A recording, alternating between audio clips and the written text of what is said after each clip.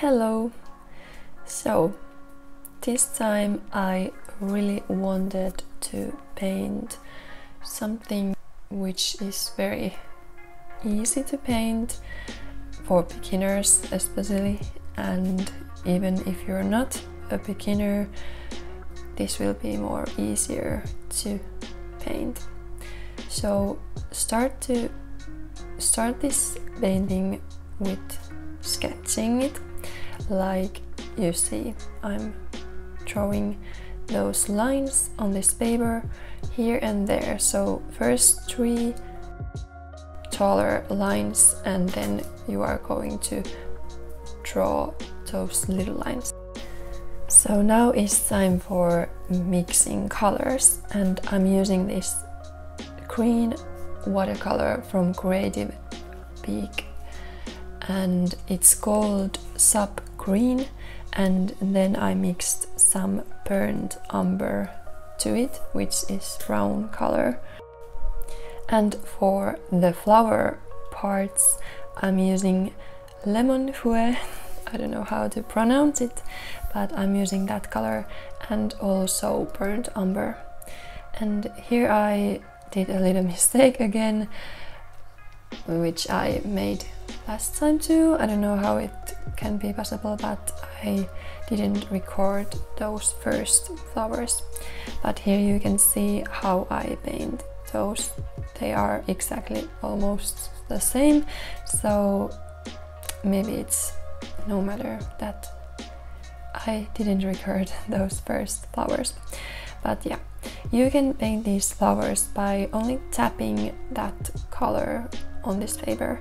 So I'm not painting like exactly like flower shapes, so it's kind of abstract flowers, flower, how you say. But yeah, and you can just tap with that thin and long brush or it, it doesn't have to be even brush like I have it can be what, almost whatever brush like just a regular brush also you can tap some brown color on those flowers which give gives them a little bit depth. So it will look more natural and just has more contrast if you can say like that. But yeah just here and there but remember to leave spaces which has that yellow color so it will not be brown flower or flowers. And if you don't want that blending effect like that brown and yellow will blend together you will have to wait for that yellow color to try and then you can add those brown details on those flowers but it depends on your style what you like.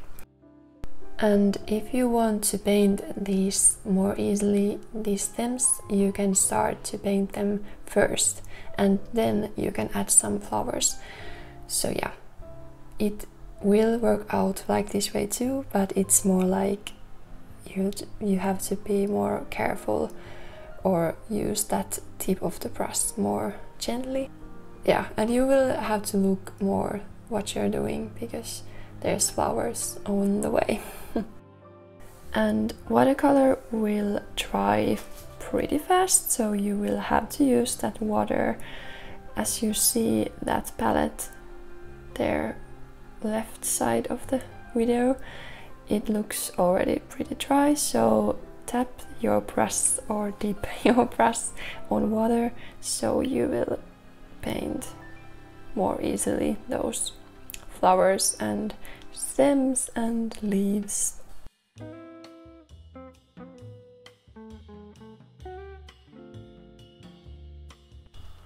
And now we are painting these leaves and yeah, you start well yeah here. We have some dog hair on that brush but yeah. You use the tip of the brush and then you gently push that brush so it will create that fuller leaf on the middle part on the middle of the leaves or leaf. And you can also add some color on those leaves afterwards when you have just painted it if it has some white spots or it will not look even or something.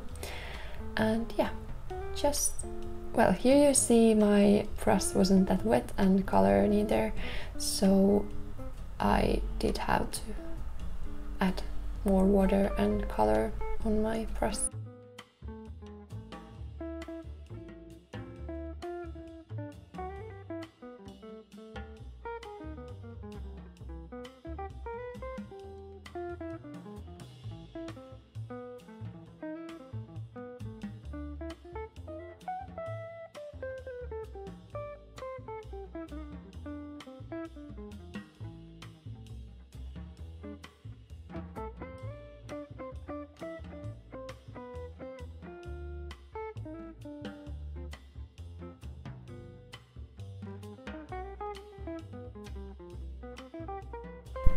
Here you can use more water to have these more light colored leaves so it will look it will look more natural and those lighter leaves will kind of blend on that background.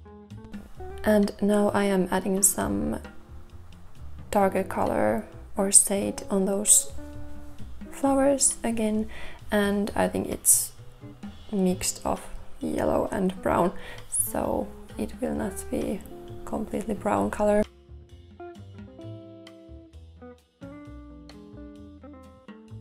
And we are done with this painting. If you want, you can add some veins on those leaves using the tip of the brush, which is thin. That's the way it will be more easy to paint those. But thank you for watching this video and please like this video and comment down below if you have some flowers you want to see me painting. See you next time. Bye bye.